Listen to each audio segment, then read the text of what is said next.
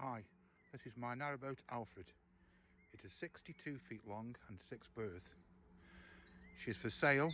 The asking price is, is valued at 89,000, but we are open to offers.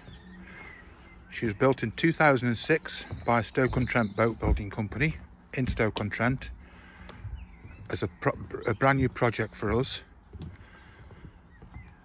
And in my opinion, they are one of the best boat builders in the country, second to none. Fabulous steelwork and even as even good joinery. The bow locker lifts up and there's room there for two Calor Gas bottles and other things like your water hose and anything else really. Cratch cover, 18 months old. Entering the boat, under the seat you've got an independent diesel tank for the diesel stove and a Vetus 75 electric bow thruster with two independent batteries. Getting inside the boat. Oh.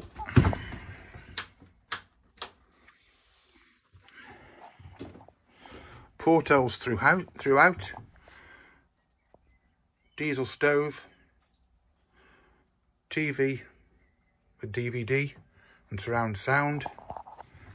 Storage cupboard underneath for radio and CD player and all your bits and bobs. Footstool, store your wellies and your boots. Drinks cabinet for the essential bottles of wine and whiskey. We have a solid oak floor throughout the boat. Ash, tongue and groove sides and ceiling and ash panels at the waterline. The settee makes up to a double bed and also the dining table. The holes in the floor there are where the Desmo legs fit in and there's a full dining table there, enough room for six.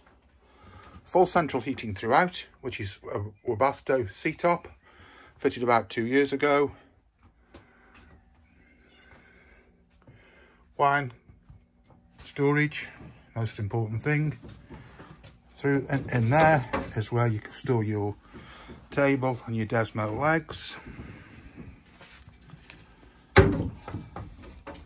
Entering the galley. Full marble top with Belfast sink, both sides.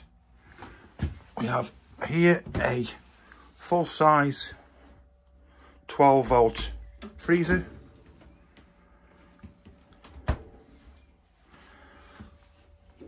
Tons of storage under the sink. As you notice, all the units are handmade. There's no MFI type kitchen units. It's all handmade in oak.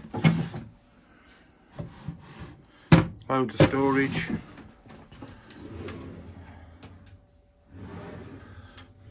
That side. Coming back onto this side. You've got a full-size 240 volt brand new electric fridge. That's run off the inverter. We find it's more economical to do that because fridges actually hammer, hammer your batteries. Then loads of storage throughout cooker hob is a gas New World with grill and oven, fan assisted oven. And again, more storage on, on through there. Another drawer. Mains, microwave and plate rack. Houdini hatch in the ceiling with side doors to the lounge area and also side doors to the kitchen.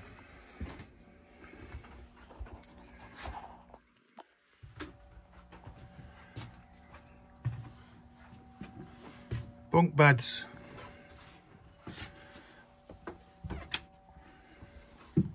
in this area, both with. Oh, excuse me.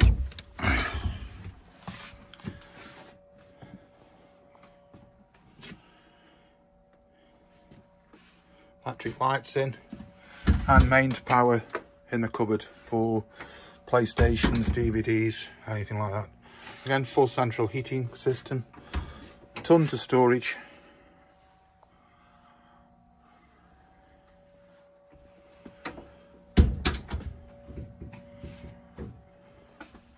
those sides of the bunks.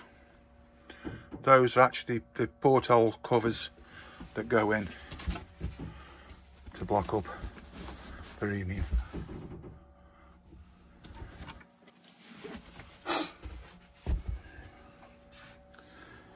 like I say, full central heating system that's run off the Webasto with a 24 hour, seven day week timer or by altering two switches, heat up off the engine when the engine's running. The engine also does the hot water through a calorifier. Entering the bathroom,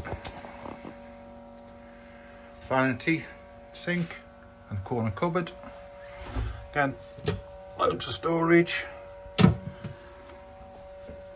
Vetus macerator pump out toilet, which goes for a holding tank underneath the double bed, which we'll come to in a minute.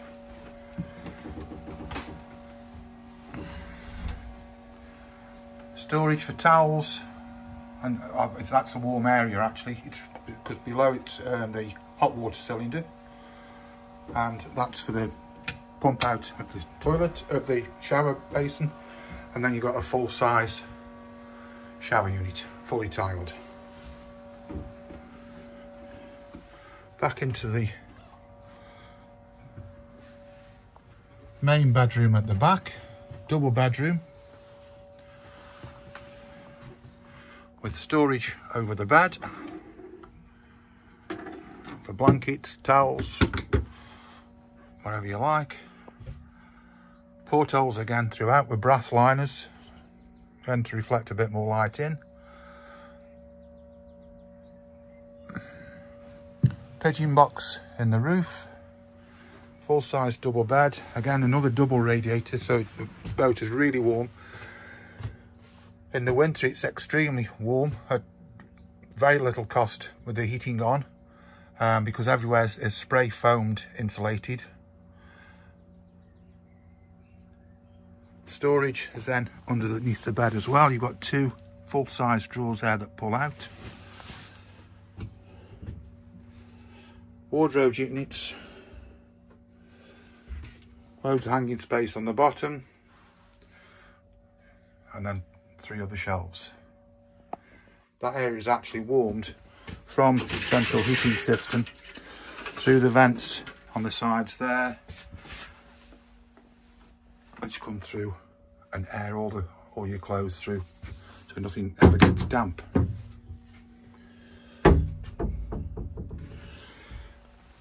Another storage area there for shoes and boots and again loads of storage for drawers. There's four drawers there. Electric electrical points throughout. There are loads of um, mains sockets throughout the boat which are all supplied by a Victron 2.5 Phoenix Multiplus inverter. Underneath there, I'll put that out your way. Underneath here are the batteries. There's one main starter battery and five leisure 110 volt leisure batteries. The engine underneath my feet at the moment is all soundproofed and literally you cannot hear the engine when it's running and that was changed for a brand new Beta 43 engine only 18 months ago now and has only done 350 hours of use with obviously lockdown last year.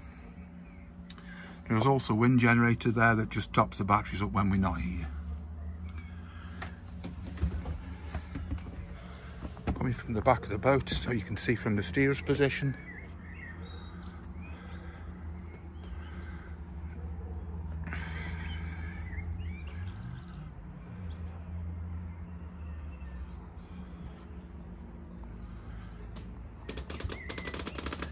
Like I say, she's moored at Great Haywood, which is on the junction of the Staffs and Worcester and Trent and Mersey Canal. So there's numerous ways to go cruising. If you are interested, if you can text me on 07 899 892 024. My name is Simon and I'll be more than, more than happy to show you around. Thanks for viewing. Bye.